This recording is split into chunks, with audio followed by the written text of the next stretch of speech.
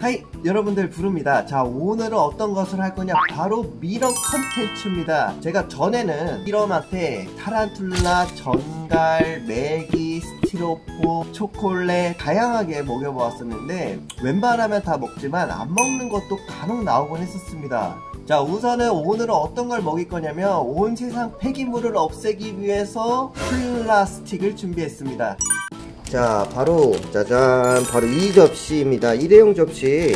이거는 뭐 편의점이나 마트 이런 데 이거 뭐 손쉽게 구할 수 있는 접시인데 이것 같은 경우에는 이제 합성수지로 이루어져 있는데 여기 폴리프로필렌 뭐 이렇게 써 있잖아요. 이거 포장 재질인 것 같고 이, 아마 이 접시도 그 성분으로 이루어져 있을 거예요. 먹는지 한번 볼 건데요. 어 이거를 먹을까?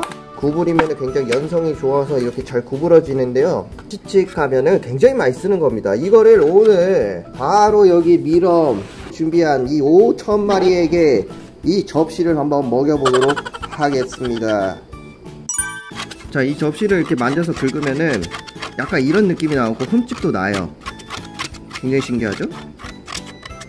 약간 스티로폼 느낌도 나면서 스티로폼이 아닌 느낌 뭐라고 해야 될까? 하여튼 넣어볼게요. 이게 우선 한 겹이 아닌데 이거 다 넣을 겁니다. 자 투촉 아, 친구들이 올라오기 힘드니까 반 나눠서 하나는 뒤집고 하나는 정상적으로 올려놓도록 하겠습니다. 과연 폐기물을 먹어줄지. 원마 원마 이거 설마 먹, 먹냐? 자 근데 또 이것만 하기는 좀 아쉽지 않습니까? 그래서 제가 이거는 유리 닦을 때 쓰는 거예요. 스펀지라고 생각하시면 될 것 같은데 혹시 이것도 먹는지 이것도 한번 넣어보고요. 그리고 스티로폼도 조금만 잘라서 한번 해보도록 하겠습니다.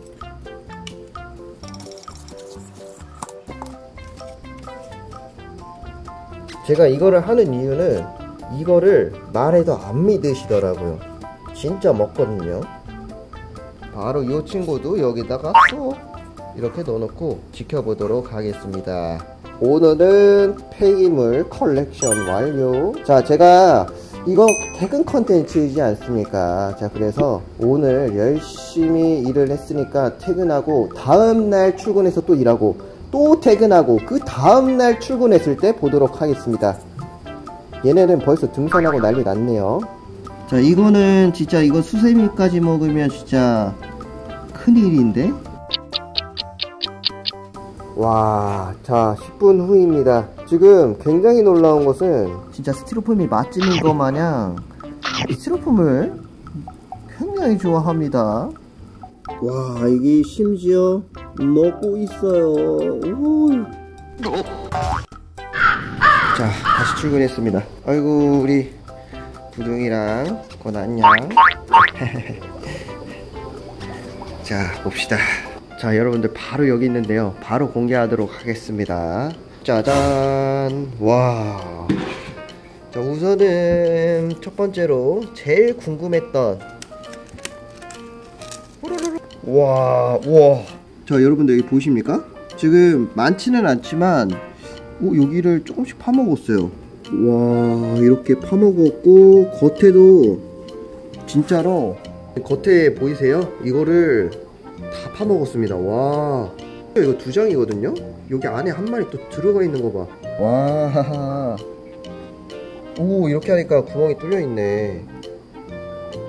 와, 이건 파묻혀져 있었어. 과연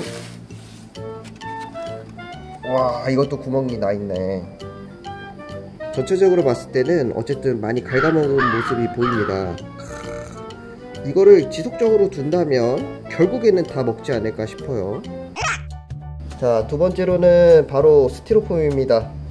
와 스티로폼은 진짜 인기가 너무 많아. 거의 그냥 치즈 먹듯이 애들이 들어가 있는데요. 이거 한번 부셔봐야겠다. 다시 봐도 신기하대 폐기물을 먹는 곤충? 자 한번 부셔봅시다 야 이거 통째로 먹으면은 미럼치즈 오! 와. 여기 보시면은 손에 묻은 거 보이세요? 미럼이 이거 스티로폼을 먹고 싼 똥이라고 생각하시면 되는데요. 미세 입자로 이렇게 분해가 되는 거예요. 다음으로는 이제 제가 유리 닦는 거 쓴다 했었죠? 이거. 스펀지 같은 느낌? 바로 짜잔. 와 야 이것도 여기 앞에도 파먹고 야 이거는 진짜 카스테라랑 모양이 딱 똑같이 됐는데 양옆에 이렇게 다 파먹은 거 보이세요? 되게 울퉁불퉁해졌어요. 먹다 보니까 이거는 맛 없다고 생각이 들었는지 이건 먹다 말았네요. 자 어쨌든 오늘 실험 종료. 우리 구독자 여러분들은 이 곤충, 이 벌레를 굉장히 싫어할지 몰라도 이 미럼만큼은 좋아해야 될 것 같은 미래에 굉장히 큰 도움을 줄 것 같은 이로운 곤충이 될 것 같은 그런 느낌이 듭니다. 이 친구만큼은 좋아해야 될 것 같아요. 자, 해서 오늘은 여기까지 하고 다음에 또 찾아뵙도록 하겠습니다. 안녕.